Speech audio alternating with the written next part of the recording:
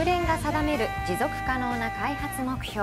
SDGs について考えるシリーズつなごう沖縄です。今日は生活が厳しい世帯を支援するため企業や個人から寄せられた食品を無償で提供するフードバンクセカンドハーベスト沖縄の取り組みを紹介します。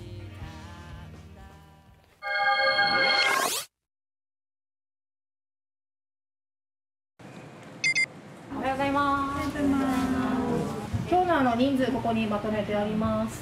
あのいつものように、えーと、あるものがまた毎週違うので、えー、家族に入るものなのか世帯、えーと、と子供用なのかっていうのをちょっと確認しながらそれぞれの食品の担当をお願いしたいと思います。事務所内に所狭しと並ぶさまざまな食品。ここはもったいないからありがとうをモットーに活動する NPO 法人フードバンクセカンドハーベスト沖縄です。フードバンク。直訳すると食品銀行。企業や個人から寄付という形で食品が集まりそれを窓口となる団体を通じて必要としている人たちへ届ける活動です。この日は県内各地の87世帯318人へ3日分ほどの食品を届けます。食品置いてるだけなので、はい、邪魔だったら急ぎましょう。今特に問題なければ、うん、大丈夫です。頼んでも全然。例年はだいたい平均が多くても150名とか160名ぐらいで推移したんですけど、まあ、多いこの300名っていうのが年末年始とか長いこう行政のお休みとかが入る前の依頼っていうのがこういう数字ではこれまでもあったんですがこれがずっと高い水準で続いているというのはこれまではなかったです。沖縄県が去年9月に発表した2017年度の1人当たりの県民所得は234万9000円。12年連続で全国ワーストです。そこに新型コロナウイルスがさらに拍車をかけ生活者はより困難な状況に陥っています。2007年の設立以来フードバンクセカンドハーベスト沖縄の活動を支えているのは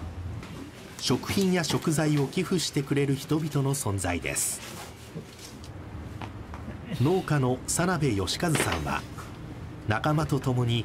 およそ10年前からさまざまな野菜を寄付しています。生活に困窮している人たち結構増えてると思いますけどね。や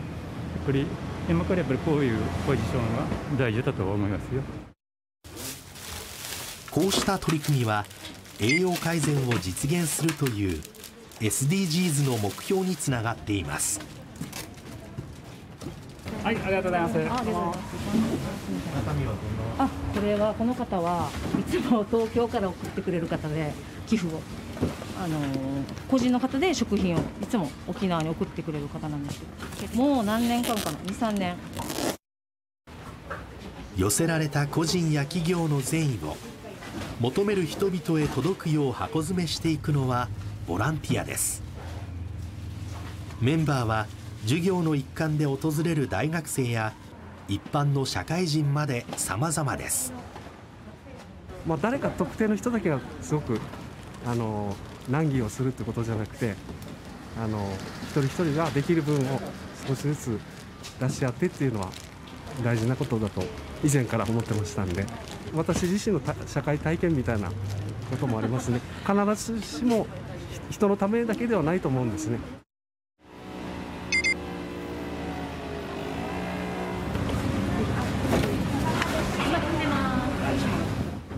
午後は本島内各地から市町村の窓口や社会福祉協議会などの団体が食品を受け取りに来ます頑張ってください。わかりました。大丈夫です。なんかね、あのー、カニカニがついてるんですけど、あれに大まかなあはいはいはい内容いてあるですよね。承知しました。ありがとうございます。本部長のゆいはと副部という事業所からとても助かっています。あのこれで家計負担軽減につながっているということであの元部からガソリンと時間使ってもやはり皆さんの助けになると思います。来れますありがとうございます。卵が入ってない。まあ、コロナでいろんな世帯困ってると思うんですけどいろんな企業さんとか個人の方が協力してるおかげで助かってる世帯がたくさんあるのでありがたいなと思ってます。慌ただしく積み込み作業をすること2時間。この日最後の箱が運ばれていきました。できるだけ困ってる方に届けたいっていう思いもありますしで困ってらっしゃる方がそれを受けて、まあ、少しでもあー気持ち的にもなんか安心したりとか明日の活力になれたらいいなというふうには思います。直接食品が届く家庭の顔は見えませんが個人や企業の寄付の善意そしてボランティアの善意を箱に詰めてつないでいきますの取材したのが今週の月曜日だったんですけども、はい。この日19団体が、えーこの食材を受け取りに来ていたんですが、もっと受け取りに来る団体は多いんですよ。であのまあ月曜日に配布する曜日というふうに決まっているんですけども、えー同じ世帯は月に1回しか受け取ることができないそうで、